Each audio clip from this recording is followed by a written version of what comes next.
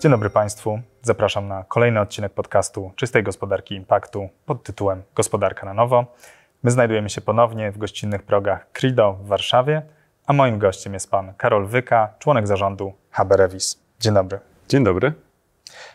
Panie Karolu, e, ile procent wieżowca Warso Tower jest już wynajęte? Całe Warso Place to 140 tysięcy metrów kwadratowych składające się z trzech budynków. Warso 1, który jest w większości hotelem, Warso 2 wynajęty e, w większości dla biur oraz Warso Tower pozostałe 70 tysięcy metrów kwadratowych. Warso 1 i Warso 2 trafiliśmy na oddanie budynku w samym w samej centrum, epicentrum pandemii, więc są już oddane. I co ciekawe, to były jeden z najlepiej i najciekawiej skomercjalizowanych budynków w naszej historii, bo przy oddaniu, w momencie oddania miały 95% wynajęcia. Więc poprzeczka jest zawieszona bardzo wysoko, więc wierzymy, że też w trakcie oddania Warsaw Tower poziom wynajęcia będzie bardzo wysoki. E, no jeszcze mamy chwilę czasu, bo pierwsza połowa 2022 roku to oddanie Warso. W tej chwili mamy bardzo dużo zaawansowanych rozmów na poziomie listów intencyjnych. Jest już kilka, natomiast potencjalnych najemców rzeczywiście jest dosyć dużo. Mhm. Ja powiedziałem, że y, Warso już jest na ukończeniu, y, to znaczy wysokość docelowa 310,6 metra, jeśli dobrze pamiętam, y, razem z wielką 80-metrową iglicą, która wzbudza w społecznościach zainteresowanych budownictwem w Warszawie i wieżowcami dość dużo emocji. Czy może nam coś pan powiedzieć więcej o tej iglicy? Jasne. E, sama iglica, tak jak pan wspomniał, ma 80 metrów, waży 73 tony, więc to kawał iglicy. Natomiast sam budynek oczywiście y, do dachu, do wysokości dachu ma 230 metrów i to jest miejsce, gdzie będą mogli wjechać mieszkańcy Polski, mieszkańcy Warszawy, bo będziemy otwarci na taką społeczność, ponieważ będziemy mieć taras obserwacyjny, e, dwupoziomowy. Najpierw wjeżdżamy na poziom 205 metrów, gdzie mamy pierwszą część tarasu widokowego, a później wjeżdżamy na sam dach budynku. Wszystkie urządzenia techniczne zostały schowane e, pod tarasem tym widokowym na samej górze, którego nazywamy 360 stopni, bo można zobaczyć panoramę z każdej strony Warszawy. Co więcej, już sama podróż na ten taras będzie emocjonująca, bo będą nas prowadziły dwie panoramiczne windy. E, z zupełnie osobnym wejściem do tego budynku, aby ruch e, pracowników z ruchem turystów się nie mieszał. E, zaczynamy przygodę w panoramicznej przeszklonej windzie, która jedzie dosyć szybko, bo to jedna z najszybszych wind w Polsce 8 metrów na sekundę, to znaczy, że w 40 sekund jesteśmy już na górze. Później wjeżdżamy jeszcze wyżej na taras 360, a nad wszystkim góruje, tak jak pan wspomniał, iglica. I jaki jest cel tej, tej iglicy? Czy ona ma jakąś funkcję praktyczną, czy tylko ozdobną? Oczywiście, jest zarówno ozdobna, jak i praktyczna. Z kwestii praktycznych e, jest to miejsce, gdzie można zawiesić wiele anten. Jesteśmy w trakcie rozmów z operatorami, którzy mogą wykorzystać e, to miejsce na wynajęcie tego miejsca pod, pod anteny. E, no plus to, że jednak strzelistość tego budynku wygląda zupełnie inaczej. To już, już kwestia gustu, ale rzadko który budynek kończy się po prostu ze swoją wysokością na dachu. My na, do wysokości dachu jesteśmy do wysokości iglicy Pałacu Kultury i Nauki. I potem strzelistości i smukłości dodaje mm, ta wieża, która oczywiście była zaprojektowana przez e, architekta, jednego z najbardziej znanych architektów na świecie do budynków biurowych, czyli pracowni londyńskiej Foster Partners.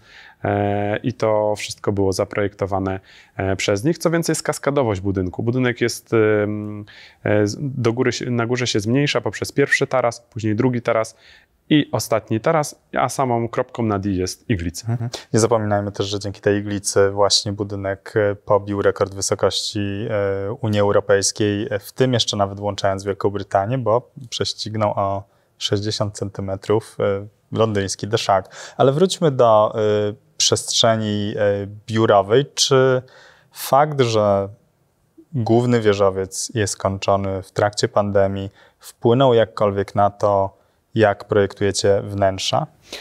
Tak, na szczęście to trochę wygląda tak, jakbyśmy przewidywali przyszłość, mieli szklaną kulę. No, tak nie było, ale rzeczywiście wszystkie rzeczy, które zaprojektowaliśmy przed pandemią, teraz się sprawdzają.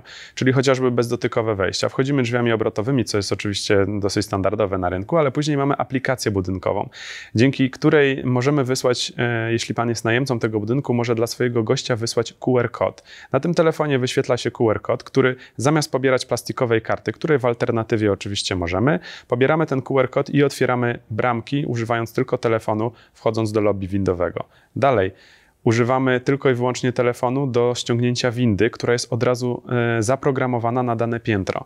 Także de facto do wejścia do samego najemcy nie dotykamy e, ani guzików w windzie, ani wejścia, ani karty, więc jest to pandemicznie bardzo bezpieczne, natomiast już samo wejście do, mm, na powierzchnię najemcy to już zależy od najemcy, ponieważ mamy też możliwość wchodzenia przez face recognition, co teraz w telefonie jest dosyć modne, ale również wejście do biura przy zachowaniu wszelkich e, norm i zgadzania się na RODO można wejść używając face recognition albo przykładając telefon i otwierając e, dosyć standardowo to biuro. Co więcej, przez, przestronne lobby, które pozwala na wymianę powietrza, e, co więcej, uchylne okna, właściwie panele wentylacyjne. Zarówno w Warso 1, jak i w Warso 2 są uchylne okna, natomiast w Warso Tower są panele rozszczelniające, więc de facto powietrze, już na tej wysokości mam nadzieję, że świeże, jesteśmy w stanie wpuścić. Tak czy inaczej można poprzez e, rozszczelnienie wpuścić powietrze, co też jak wiemy cyrkulacja świeżym powietrzem wpływa e, również na zapewnienie bezpieczeństwa w biurze.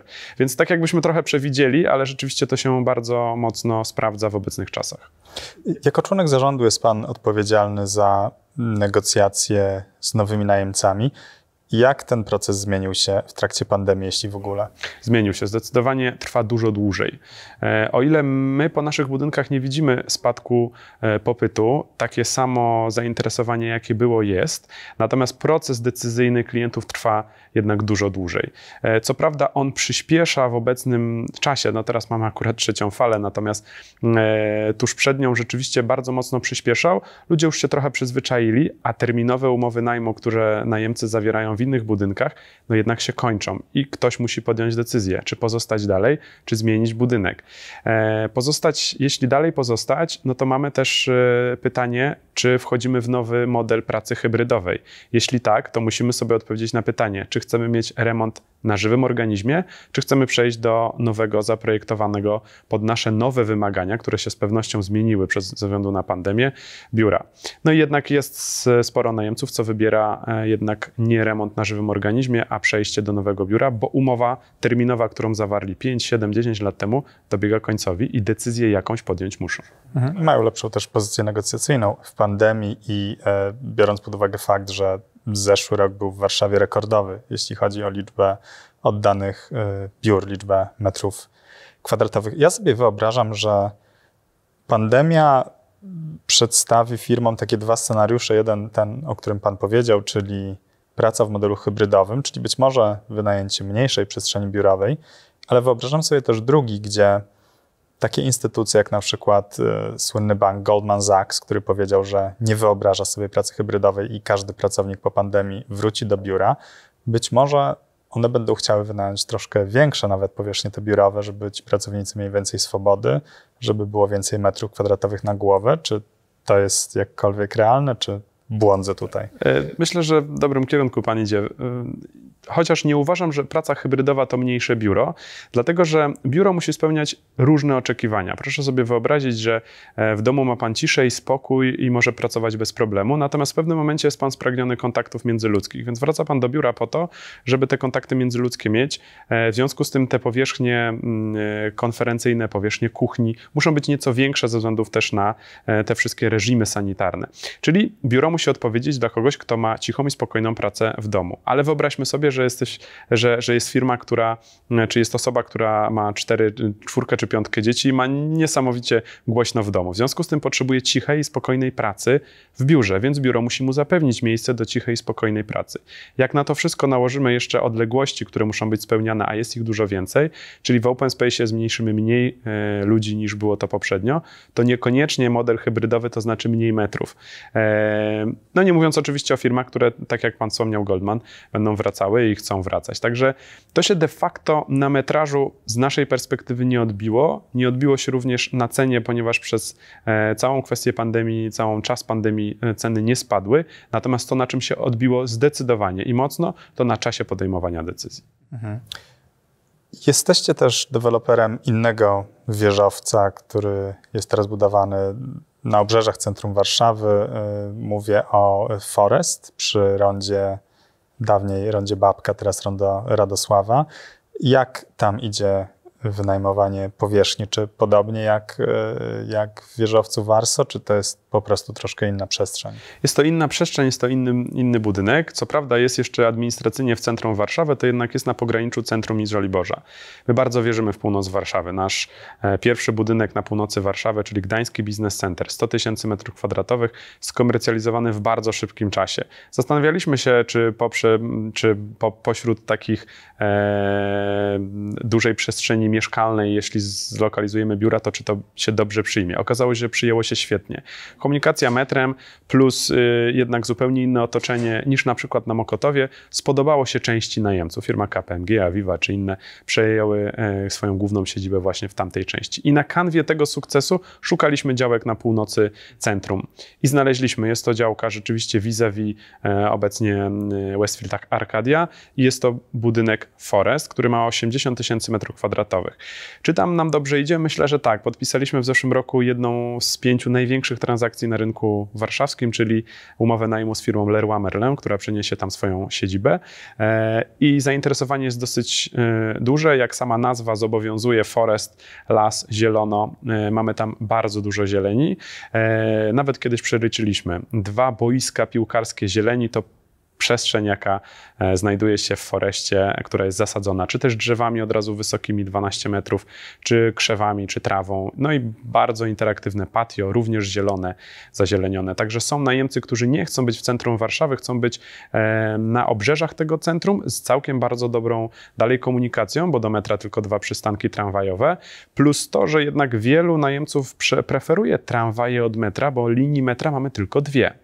A tramwaj, który również nie stoi w korkach, mapuje nam całą Warszawę. W związku z tym świetna lokalizacja tramwajowa to również jest coś, na coś najemcy zdecydowanie zwracają uwagę. A jakie kolejne plany budowy w Warszawie? Czy y, robicie już, czy na razie skupiacie się na dokończeniu tych projektów, które, y, które już budujecie? Symultanicznie wszystko robimy, czyli kończymy oczywiście projekt Warsa, kończymy projekt e, Forest, jeszcze chwilę czasu potrzebujemy i bardzo aktywnie szukamy również gruntów w Warszawie pod kolejne projekty. Bardzo mocno wierzymy w Warszawę, w dobre lokalizacje, e, więc jesteśmy na etapie poszukiwania działki pod kolejną inwestycję biurową. Czy będą to wieżowce? To już zależy od działki. Każda mhm. działka. Czyli jeszcze nie macie działek, na razie to jest ten etap, gdzie szukacie. Szukamy działek, jak znajdujemy działkę, analizujemy pod różnym kątem. Mogą być to wysokie budynki, jak Warso czy Forest Tower, bo Forest składa się z dwóch części, czy jak część kampusowa, która ma pięć pięter e, i e, też jest bardzo ciekawym budynkiem. W związku z tym to działka nam determinuje, jaki budynek w danym miejscu postawimy. E, czy jakieś okolice, w które celujecie? Pewnie Pan e, nie zdradzi, ale pospekulujmy na przykład okolice Woli, gdzie się znajdujemy, gdzie kwitnie rynek biurowy, wieżowcowy? Każda okolica, która jest dobrze skomunikowana, jest dobra. Patrzymy na całą e, Warszawę i każda możliwość, zastanawiamy się wówczas, jak komunikacyjnie podchodzi, ale wierzymy w, w, w Warszawę bardzo, bardzo mocno. E, Haberevis to spółka pochodząca oryginalnie ze Słowacji. Oprócz Warszawy inwestujecie też na innych rynkach e, Europy Środkowo-Wschodniej, także w Londynie. Czy może nam Pan na, na koniec opowiedzieć o Waszych planach rozwoju poza Polską i poza Warszawą. Oczywiście. Tak. No, rodzima Bratysława i Słowacja, skąd firma się wywodzi, ale również jesteśmy pierwszym deweloperem w tej części Europy, który zawitał do Londynu. I rzeczywiście w Londynie mamy kilka projektów. Niedawno udało się nawet e, jeden projekt już sprzedać, e, poprzednie kilka lat wcześniej, więc jesteśmy tam dosyć aktywni. Czy Brexit nie zaszkodził Londynowi? E, zmienił go trochę, natomiast no, wszelkiego rodzaju ruchy to są kolejne możliwości dla dla, dla deweloperów. Natomiast y, nie tylko Londyn. Jest, mamy też y, powolną ekspansję, którą zaczynamy i pierwszy projekt, który udało nam się już w tej chwili tworzyć, to jest Berlin. Więc w Berlinie również jesteśmy obecni. Także Berlin, Londyn, Warszawa, Bratysława to miejsca, e, gdzie jesteśmy bardzo aktywni. E, no i również nie zapominajmy o naszym projekcie w, na Węgrzech. E, mamy bardzo dużą powierzchnię biurową, bardzo duży budynek właśnie w Budapeszcie, jak również była nasza obecność w, w Czechach. Czyli rozumiem, że planujecie dalszy rozwój w tym rejonie, ale też nie rezygnujecie z zachodniej Europy, z Niemiec czy Niemcy, Londyn, Warszawa, mhm. myślę, że to trzy takie e, główne rynki, ale oczywiście macierzyście również też Bratysława. Myślę, że na tych czterech najbardziej się skupiamy. E, pozostałe też są obecne, natomiast siła e, rzeczywiście idzie w kierunku Warszawy, Berlina, Londynu. Bardzo dziękuję za rozmowę. Moim gościem był Karol Wyka, członek zarządu HB Revis.